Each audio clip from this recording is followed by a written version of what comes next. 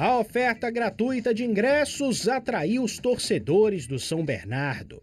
Do outro lado, os azulinos de vários lugares lotaram o setor visitante. O clima era de decisão.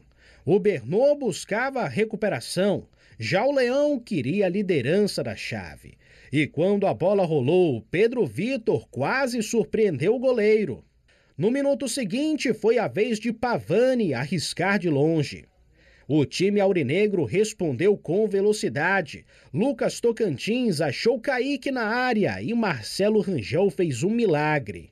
O Remo continuou criando oportunidades. Ítalo foi lançado, mas na hora de finalizar, Alex Alves estava atento. Mas o verdadeiro artilheiro não perde duas vezes. Cruzamento rasteiro de Jaderson Ítalo de primeira mandou com estilo. 1 a 0 Leão.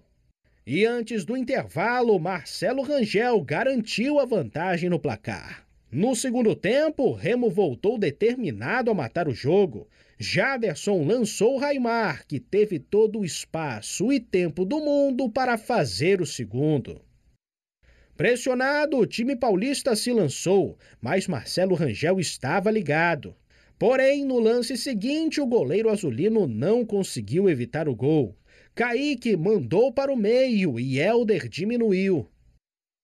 O São Bernardo insistia nos cruzamentos e o goleiro azulino deu um tapinha na bola para salvar. Jaderson já tinha duas assistências no jogo e podia ter dado a terceira, mas faltou solidariedade.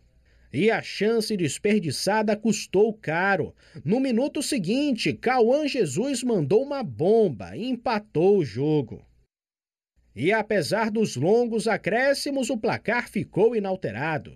Final de jogo no estádio 1 de maio. São Bernardo 2, Clube do Remo também 2. O ponto conquistado fora de casa não é ruim. Deixa o Remo na segunda colocação do seu grupo, empatado com o líder Volta Redonda.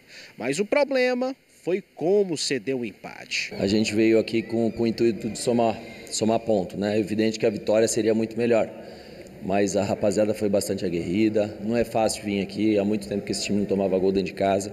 A equipe se comportou bem, fizemos um primeiro tempo onde tivemos mais de 10 finalizações contra duas deles.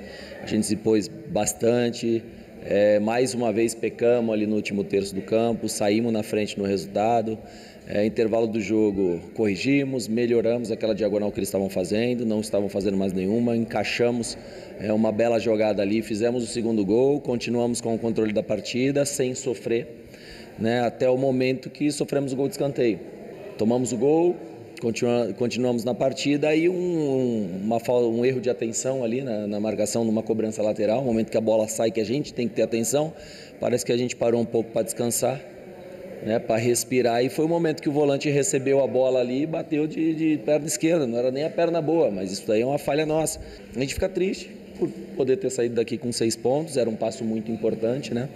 Mas a gente não deixa de segurar um pouco o adversário, né? Que não somou na primeira partida.